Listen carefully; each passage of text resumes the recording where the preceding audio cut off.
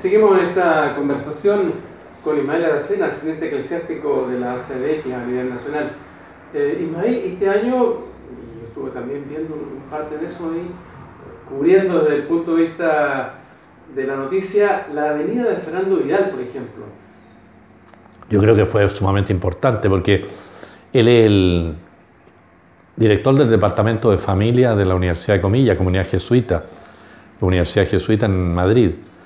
Pero al mismo tiempo los jesuitas en España han hecho hace muchos años una opción por la familia, que agregado al, amor Leticia del Papa, a, a la reflexión en muchos lugares, nos hemos dado cuenta que es fundamental no solamente apoyar el tema de la familia, sino las consecuencias de las relaciones.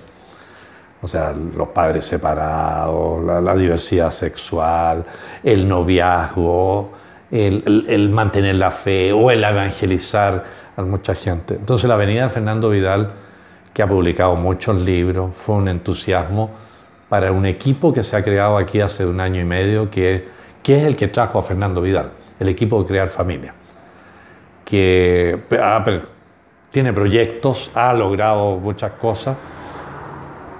Y en el fondo, ¿qué, ¿cuál es la esencia de eso? Que el, mundo de la espiritualidad ignaciana y la familia se unan para prestar un servicio y una animación de esta temática al, mundo eclesial. Eh, y yo creo que en ese aspecto es un desafío para el 2018 muy, muy grande. Va a salir una página web de Crear Familia. Un congreso mundial de familia en que fuimos tres personas.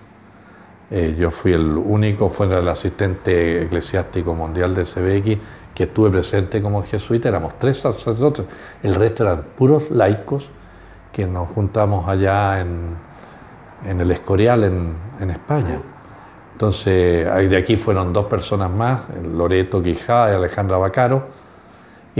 Fue muy animante y fue alguien del, de familia del, Vaticano, que no es jesuita.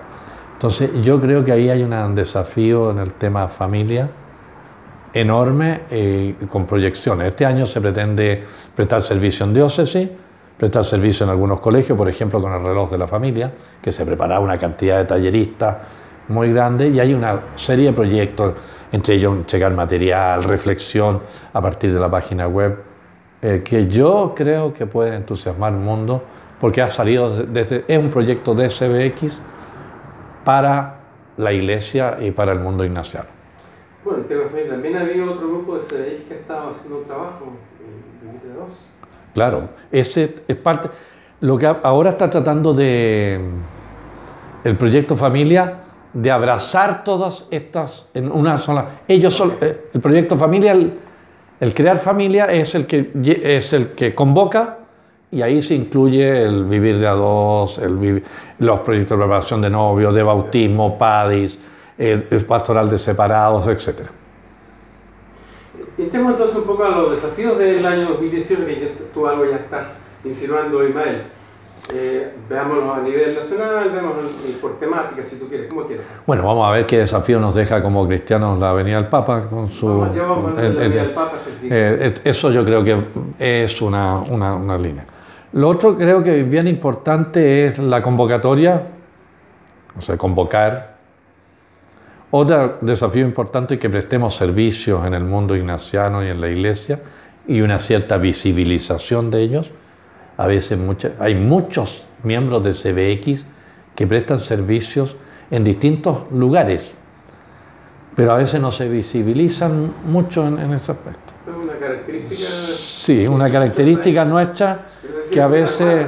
Sí. Eh, otra cosa yo creo que es bien importante es eh, mantener esta cercanía con el mundo de la Compañía de Jesús, que ha sido histórico.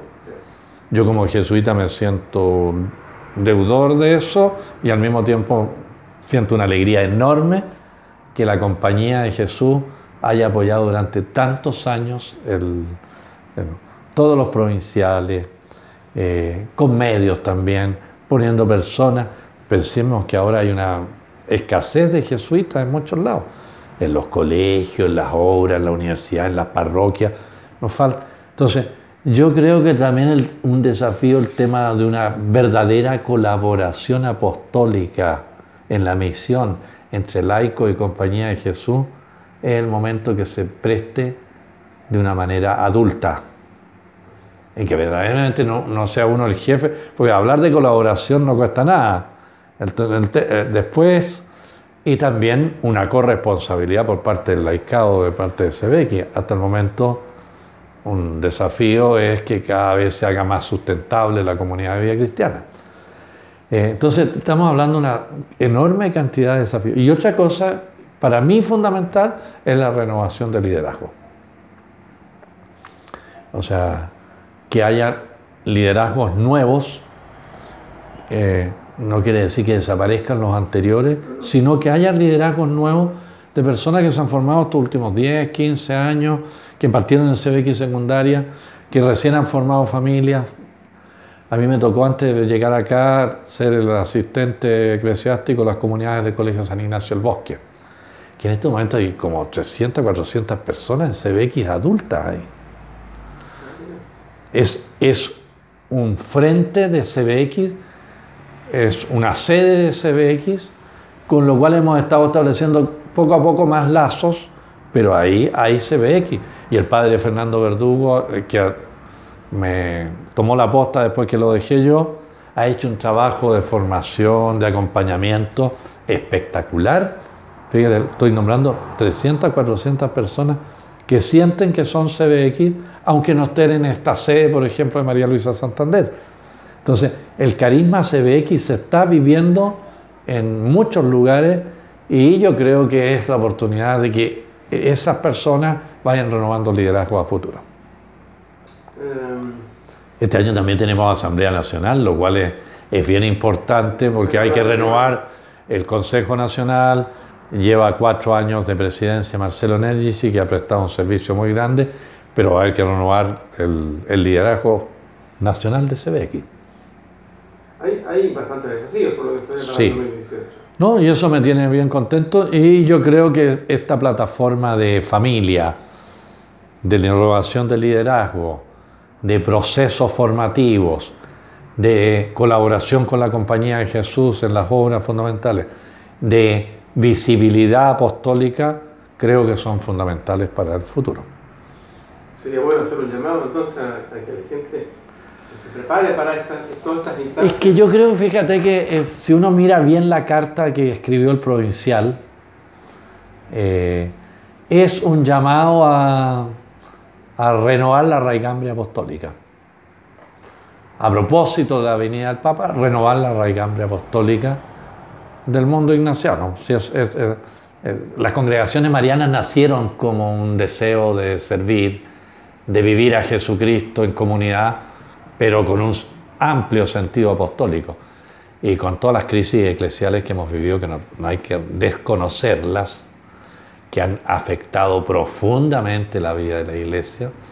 Yo creo que hay un llamado a una renovación evangélica que a propósito que ahora se acerca la Navidad, tremendo. No tenemos que desconocer que hay un sector muy amplio de la sociedad chilena que se ha ido alejando de la iglesia o no ven nosotros un ejemplo evangélico muy, muy claro.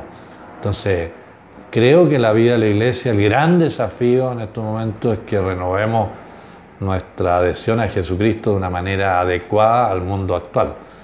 Y esto, a mi parecer, ya no es desafío de es del mundo de la fe, que es que nosotros como ignacianos tenemos que hacernos parte también. Vamos a hacer otro alto y vamos a entrar ya directamente a hablar del significado que para nosotros tendría la venida del Papa Muchas gracias.